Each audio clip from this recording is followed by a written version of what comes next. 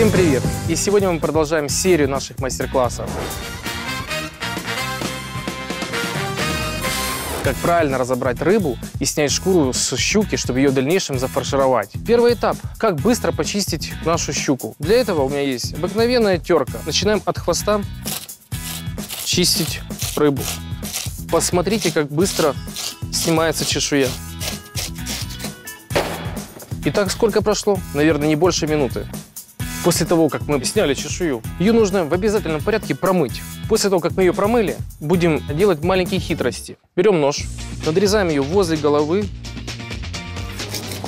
и с другой стороны точно так же. Ножиком мы должны прочувствовать, что там есть хребет. Вот дошли до хребта и остановились. С другой стороны точно так же. Дошли до хребта и остановились. Переворачиваем рыбу на спинку и ведем ножом по ее животику возле головы. То есть вот такой вот надрез мы, грубо говоря, сделали. Дальше, что нам необходимо? Дорезать все-таки до хребта. Вот здесь вот, вот хребет. И сделать такой небольшой надлом. Конечно же, удобнее использовать рыбные ножницы. Теперь достаем внутренность, все, что было в нашей щучке. Здесь отрезаем. Теперь глаза.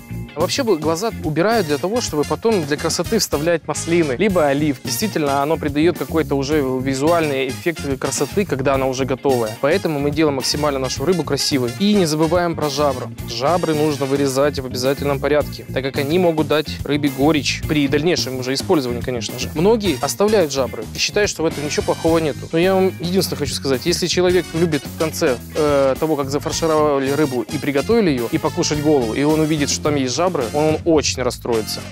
В принципе, мы всю полностью рыбу почистили. И теперь важный момент – снять шкуру. Показываю, как это. Берем маленький ножик. Делаем изначально небольшой надрез между мясом и самой шкурой для одного пальца. То есть делаем как будто карманчик какой-то. Сделали этот карманчик. Дальше все ведем только пальцами. Самый главный еще момент, не забывайте, чтобы вы просто случайно, либо машинально не удалили голову. Голова нам нужна отрезали хребет полностью, но здесь у нас э, голова остается на самой шкуре, на верхушке. Это немаловажно. Дальше сюда голову запускаем, выворачиваем нашу рыбу и ножничками запускаете под каждый плавник и подрезаете косточки. Аккуратным движением ведем дальше. Плавник идет вместе с кожей. В это же время кожа не рвется. С двух сторон это все нужно произвести на хребте и на животике. Все, теперь доводим до самого хвостика. Есть, вот я уже чувствую, что здесь уже хвостик. Берем ножничками, отрезали. И что у нас вот получилось? У нас получилось вот мясо. Сейчас покажу еще один секрет, как быстро снять мясо для фарширования нашей рыбы. Мне нужна ложка, это вообще суперский секрет. Берете обычную ложку и ведете прямо по шкуре, не боясь, что вы ее сейчас порвете. Но в этот же момент вы снимаете полностью мясо. И вы не боитесь, что в этом процессе вы порвете шкуру. С двух сторон так смело, смело так все можете делать. Не, не бойтесь этого.